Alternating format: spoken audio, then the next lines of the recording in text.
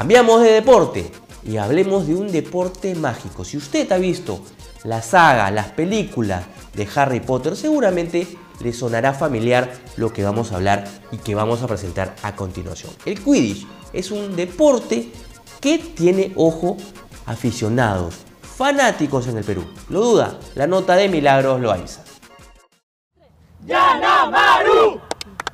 La magia y el deporte se juntan para los apasionados de las sagas del mítico Harry Potter. El Quidditch, un juego extraído del universo de la película del Niño Mago, comienza a tomar aficionados en nuestro país de la mano de un grupo de jóvenes que ven en esta nueva aventura deportiva un motivo real para ser campeones mundiales. Esto no es algo que tengas que ser muy fan para, para venir a jugar. Es solamente que te interese el deporte y que te animes a probar cosas nuevas. Así como lo oye, el Quidditch ha comenzado a tomar masificación y pretende convertirse en un deporte común y corriente como los que ya estamos acostumbrados a practicar puesto que somos, junto con Argentina, una de las potencias en esta disciplina. Los equipos de repente que integran esta federación o que están interesados en ese deporte. Ahorita, ahorita son ocho equipos, ocho equipos en Lima y en provincia tenemos información de dos y algunos se están formando. Como hemos empezado a tener una gran difusión, hay varios mensajes que nos llegan que, quieren que se juegue Cuyes en cada provincia y estamos tratando de formar equipos bases a la distancia en realidad, aunque es un poco difícil porque no estamos nosotros en la provincia pero estamos intentándolo. ¿Cuál es el, objetivo en sí o de repente la meta que quieren ustedes cumplir como federación de este nuevo deporte? Entre, entre el staff, entre todos mis compañeros que en realidad apoyamos esta idea, a, este, la meta es de que se juegue, el Perú, eh, se juegue en todo el Perú el Quidditch, que tal vez sea considerado deporte nacional también, porque en realidad en pocos países se juega.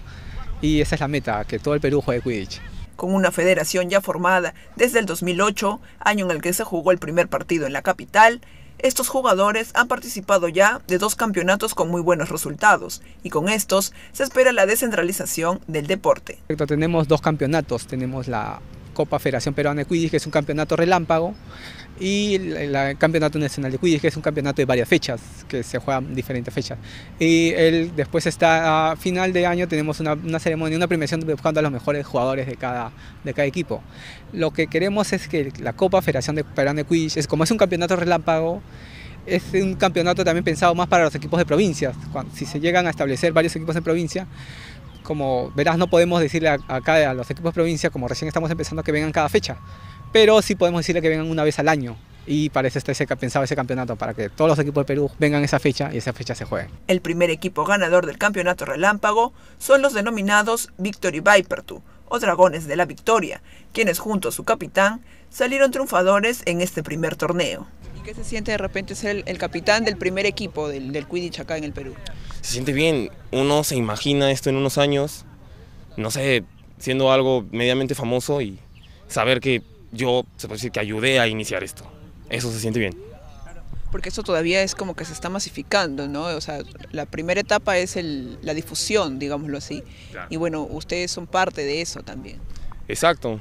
Eh, cuando empecé esto yo no, o sea, no creí que fuera tan masivo.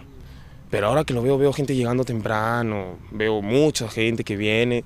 Eso me gusta, porque siento que puede seguir este deporte ¿no? y hacerse más interesante, más competitivo. ¿Qué quieres lograr con, con el Quidditch? Que se haga reconocido que al verlo de primera impresión no solamente piensen en fanáticos, en burlarse o algo así, que haya un grupo de gente que al menos se lo tome en serio. La dinámica de este juego es no tan sencilla para los que no han visto la película, pero según sus creadores, lo puede practicar desde el más fanático hasta el que no conoce nada, y los implementos van desde unas escobas artesanales hasta balones y aros del tamaño de una hula hula. Como saben, Quidditch es un deporte de Harry Potter, un deporte mágico, pero le hemos traído la realidad y no hemos tratado de, hemos tratado de conservar la mayoría de características. Un, un campo balado, 50 metros de largo, 30 metros de ancho.